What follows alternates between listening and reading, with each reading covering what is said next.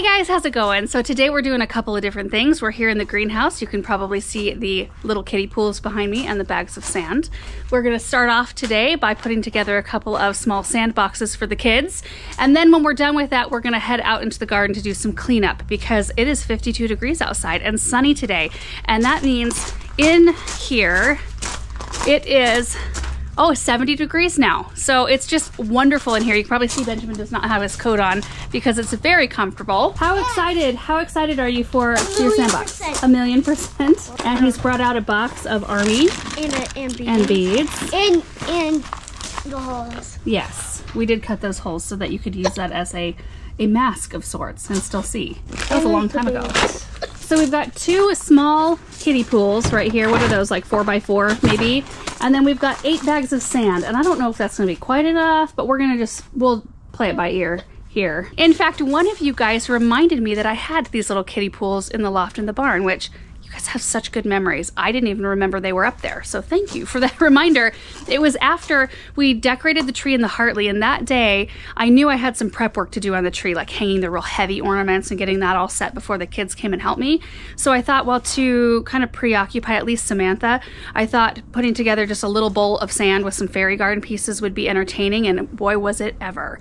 And they just played in that sand, little itty bitty sandbox for hours, and then Samantha wants to go out there every single day to play in it. So I thought, oh, this is going to be perfect. Uh, so one of you guys had mentioned, well, you have those kiddie pools. You should just put some sand in them in your greenhouse. Brilliant. Now, this is where the cats sleep because it stays warm in here and they have the ability to go in and out as they please. So we are going to be covering these boys. These are not your litter boxes. We'll be covering these with boards every night and thankfully they're small. We've got a piece of plywood in the barn that I'll just cut to size so we can just pop a lid on each one of them. So they should be good. But anyway, this is a pretty straightforward project. Erin is going to help me move this table out so we can just kind of snug the pools up against the edge. That way we can still pull the hoses in and out and they're not right out in the middle of the, of the road here. Let's do it, Benjamin. Yeah.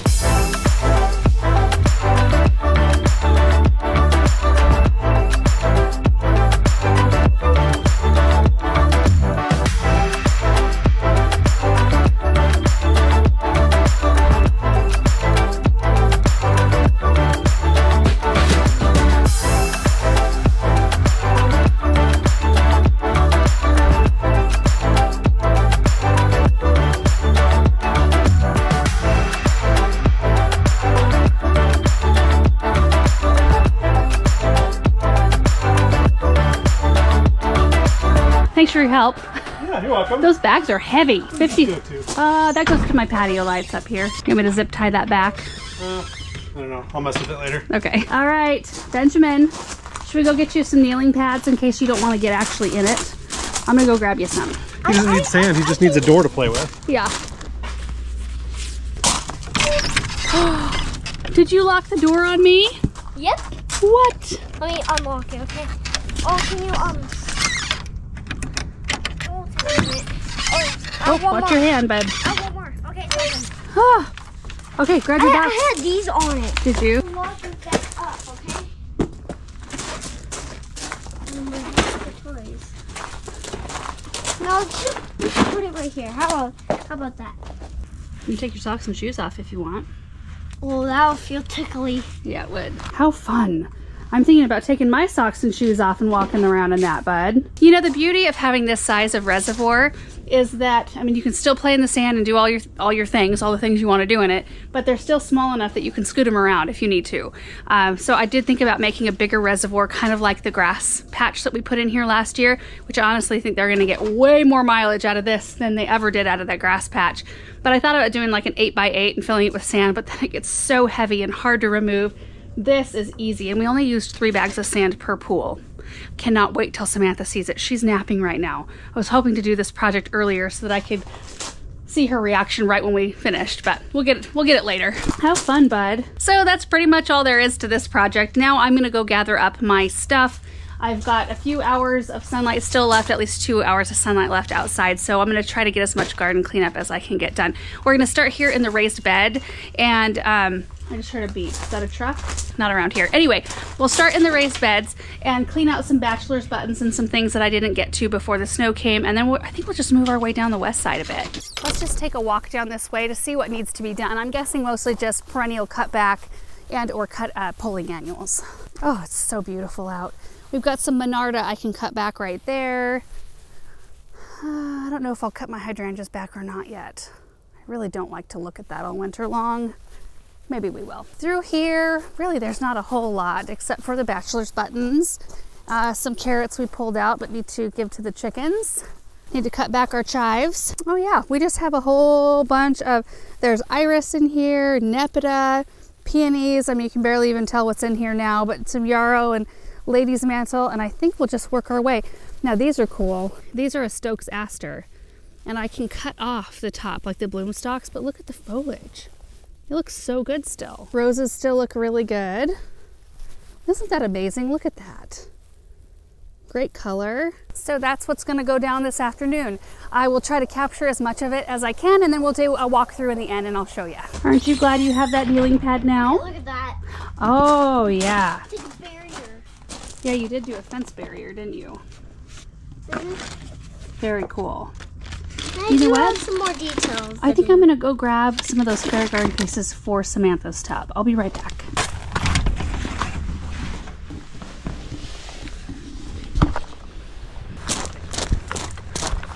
Okay, so this is the size of the first sandbox put together. She's gonna love it.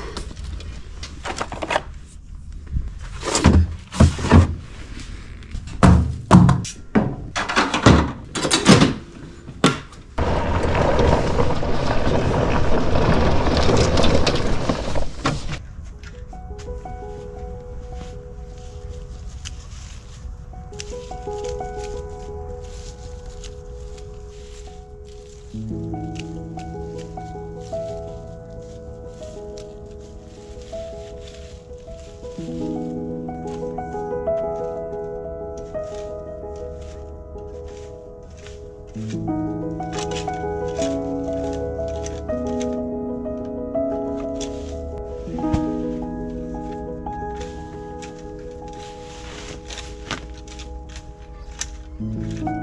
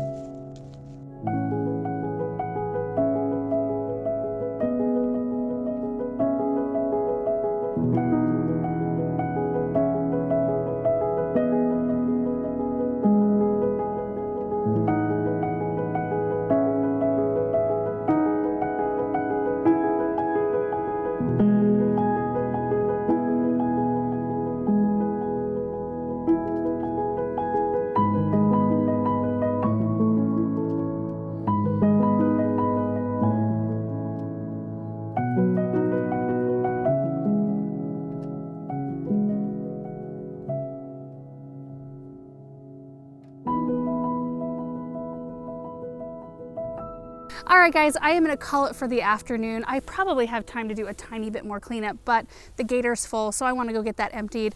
And then I'm going to be making um, Ina Garten's winter squash soup tonight. And I'm very much so looking forward to that. So I want to go start that process and I get to use butternut squash and onions and things from our root cellar, which is really fun. If you haven't tried that recipe for winter squash soup, definitely try it's the best. So let's just take a little walk through what we got done this afternoon. Cut back the Monarda, which smells so good. It's such a nostalgic smell and I could smell it for the whole rest of the time I was cleaning up. It was awesome. Then just did a little raking and you know we transplanted some Brunnera. They were huge plants uh, this summer and so they're all in this area. I got those all cut back so now we can mulch. That was it for this end. I forgot to cut back the hydrangeas. I'll come back here out here and do that another day. But it's such a gift that we're able to be out here even doing any cleaning because typically in December the weather is not as favorable as it is today. And when I was cutting back one of the roses, I'll show you which one, there were white flies just pouring out of it. I've never had white flies outside. uh, I mean, I think that's what it was. There were a bunch of tiny white bright white flies. Uh, and so that's the main reason why we're doing a lot of our cleanup early, like we did a bunch this fall. And then I will continue working on it, and I'm sure Paul and Bethany will continue working on it as we have the weather to do so, because uh, we're trying to eliminate thrips mainly. Uh, so anyway, it made me feel good to get the foliage and stuff cleaned up around that rose today. But I got the bachelor's buttons pulled up. I need to do a little cleanup around the edges there. Benjamin and I picked some carrots, cut the chives back that were in that pot, and they've been in that pot for like five years. And then moving out out on the west side here, we got done from about the fence over to the first urn, which this is the most thick area of perennials. And we have both iris and lady's mantle in this area, which are a pain to clean out. Iris, if you're not careful, like you can pull some of the spent leaves from around the bottom and they just release really easily. But if you accidentally get a hold of a, a fresher leaf, it can pop the whole rhizome out of the ground. It only happened to me once today, so I just replanted it real quick. But uh, anyway, getting to those earlier is usually a little bit better. Same with the lady's mantle. So I've got a big patch of lady's mantle in here and it just, it gets so soggy and it's like like that now because we've had, you know, snow and rain, but it would be like that in the spring too. It's much easier to cut back when it's drier because this stuff just gums up in your pruners. it's just a total pain. Oh, is that one of the white flies right here? Yeah, that is. Do you see that? It's itty bitty, but it's bright white. But other than those two perennials, it was really easy. Just did some leaf cleanup. I trimmed this elderberry to where you could see the, uh, we've got a red obelisk beech right there. And this uh, is an instant karma elderberry and it just grows like crazy, like crazy. And then I did cut back, there's a peony there and I did just kind of a rough job on these roses. These are, I think, Royal Jubilee David Austin roses. And I will come in and reduce their height by half from what I even left today in the spring. But they were so big and bushy and kind of overgrown that it did clean it up. And then this is the one that had all of the little white flies pouring out of it. So I might even come in and clean around the crown of the plant there. Uh, but I feel like I eliminated a lot of them today. There's one flying around right there. I don't know if you can see that. Ugh. And this is where we stopped. We've got some really pretty variegated ajuga right here. Kind of want to continue on with a little more of that because it's got such great color in the wintertime. And then as we have moments this winter, will come out and clear out more. The only things that I will probably leave alone in this space are the Caryopteris and Buddleia, which uh, don't suffer from winter dieback as bad as Buddleia do for us, uh, but it's just best to wait until those show a little bit of growth in the spring, and then you can see where to cut the plant down to. You can, you know, cut it right above the first set of really strong buds. Uh, that's just better for the plants, but I'm just kind of taking a, taking a look here, and I don't think there's anything else that I will ignore this winter. Yeah, everything else I think we're good to go, getting cleaned up. A couple of other really pretty things. We've got Brandywine viburnum right here. Look at how beautiful these berries are. Hanging on too.